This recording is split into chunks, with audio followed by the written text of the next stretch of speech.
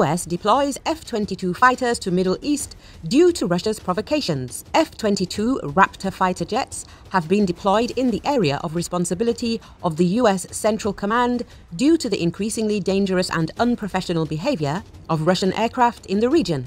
The US Central Command, CENTCOM, reported it. Fighters of the 94th Fighter Squadron of the US Air Force from Langley Air Force Base, Virginia, will be deployed in the CENTCOM area of responsibility where they will integrate with the air forces of the anti-terrorist coalition. The dangerous and unprofessional behavior of the Russian military is not what we expect from a professional air force. Their regular violation of agreed measures for the deconflicted use of airspace increases the risk of escalation or miscalculation, commented CENTCOM Commander General Michael Kurilla.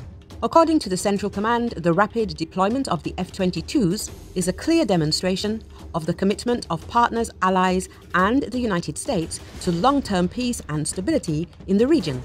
As early as April, the US Central Command stressed that Russian pilots have recently been showing aggressive behavior when encountering US military aircraft in the skies over Syria.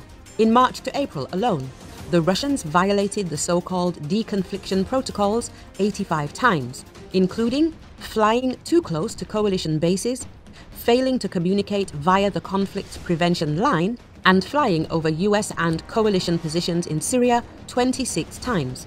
There are currently about 900 US military personnel in Syria as part of the campaign against the Islamic State terrorist organization.